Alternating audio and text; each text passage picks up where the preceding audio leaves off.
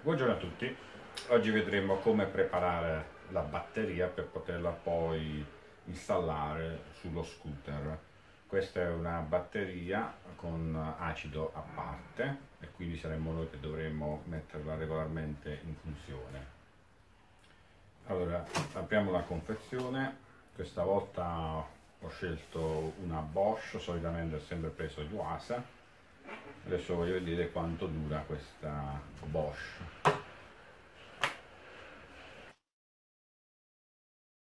Nella confezione troviamo la batteria.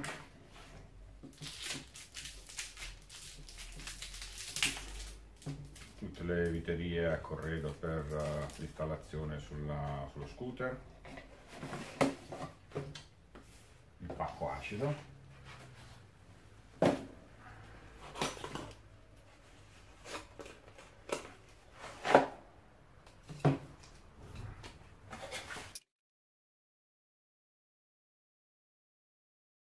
All'interno della confezione troviamo ovviamente le istruzioni che vi invito assolutamente a leggere. Poi quando effettueremo l'installazione dell'acido all'interno della batteria utilizzeremo dispositivi di protezione individuale come gli occhiali e i guanti. Allora, la prima fase che dobbiamo effettuare è quella di preparazione della batteria e dobbiamo rimuovere questo adesivo da sopra la batteria.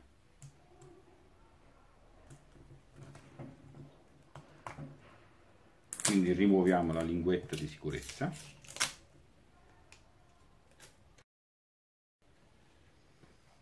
Allora, qui abbiamo i nostri fori di riempimento.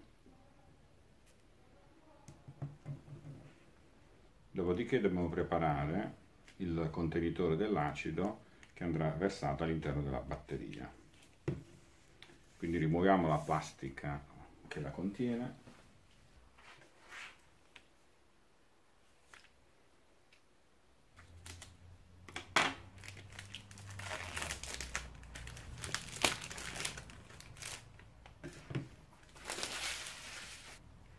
Allora, togliamo via le forbici che non ci servono. Allora, qua c'è tutta una serie di tappi questi sono i tappi che andremo a mettere sui fori della batteria. Quindi li andiamo a rimuovere. Non foriamo assolutamente i sigilli dei vari contenitori dell'acido. Quindi adesso ci prepariamo alla, alla, alla fase successiva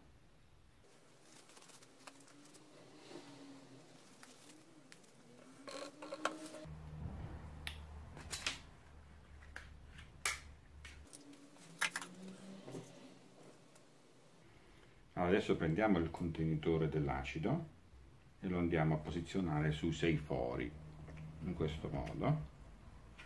Assicuriamoci che siano precisi.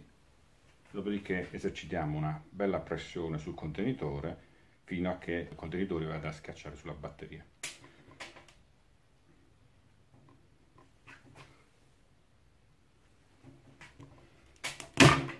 Ecco fatto come vedete ci sono le bollicine che vengono su da tutti e sei eh, i flaconcini e quindi adesso aspetteremo 10 minuti che si svuota il flacone dell'acido.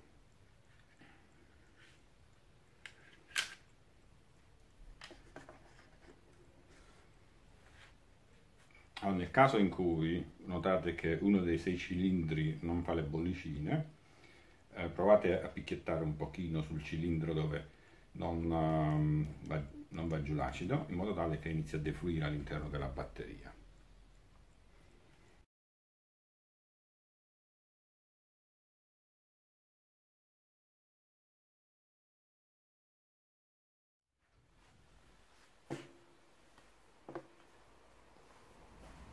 Allora, quando vediamo che dal contenitore è defluito tutto l'acido all'interno della batteria, per essere sicuri che anche le goccioline di acido che sono rimaste nel contenitore vadano dentro la batteria diamo dei colpetti in modo tale da essere sicuri che l'acido del contenitore della batteria sia entrata all'interno. Rimuoviamo con cautela il contenitore della batteria e lo andiamo a mettere nei rifiuti speciali. Lasciamo che l'acido entri in formazione con le piastre e sentiremo uno sfrigolio. Quando lo sfrigolio terminerà dopo almeno un'ora, allora potremo chiudere i fori con i tappi.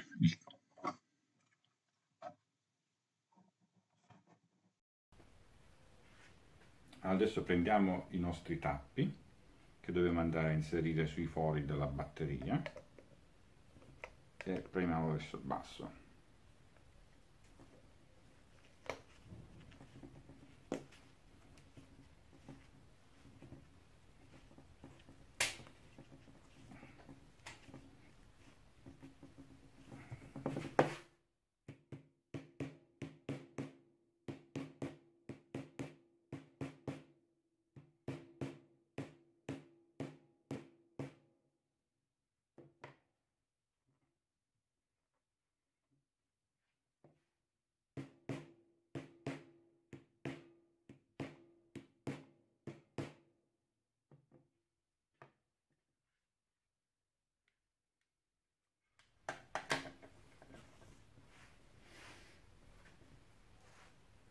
Allora, in questo momento abbiamo terminato tutte le operazioni per mettere in funzione correttamente la batteria.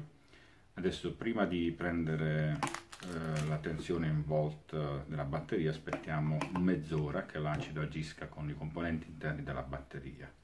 Quindi ci rivediamo tra mezz'ora. Sono passati più di mezz'ora da quando abbiamo messo l'acido all'interno della batteria, adesso dobbiamo misura, misurare con un tester, un multimetro, eh, la tensione in volt di questa batteria.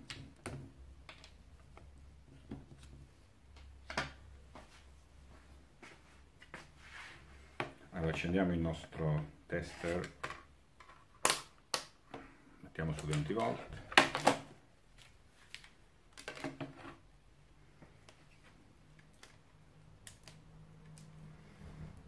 quindi qua abbiamo il polo positivo, qua il polo negativo, siamo intorno ai 12,60. Allora, le istruzioni dicono che se, so, se 12,70 è già pronta all'uso, però io comunque preferisco attaccarla al